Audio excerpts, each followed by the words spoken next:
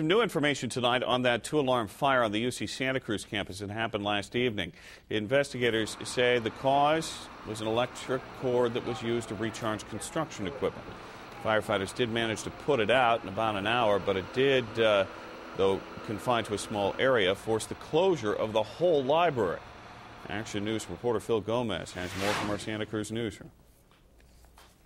Well, library officials breathing a sigh of relief tonight. McHenry Library is home to the Grateful Dead's priceless collection of memorabilia. It contains a staggering amount of material from the Dead's career, but fortunately, the band's memorabilia was not on display.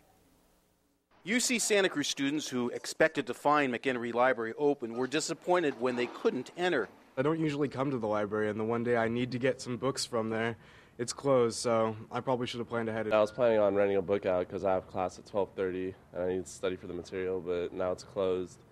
I don't know what I'm going to do now. The fire began near the so-called Dead Central, the Grateful Dead collection, which will be put on display next year.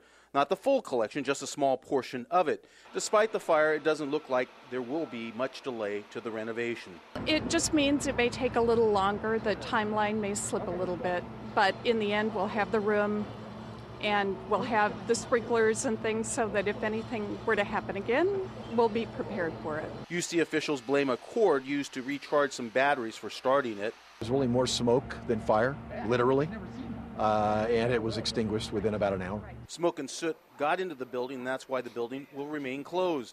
But they have to come in and clean everything in the building, including the books, because there's soot on top of the books, and all the tables, all the computers, everything. The university librarian believes the library won't reopen until Monday. Students are asked to check the university library's website for updates on the status of McHenry Library and what arrangements are needed to check out books. Dan and Aaron. All right, thank you, Phil.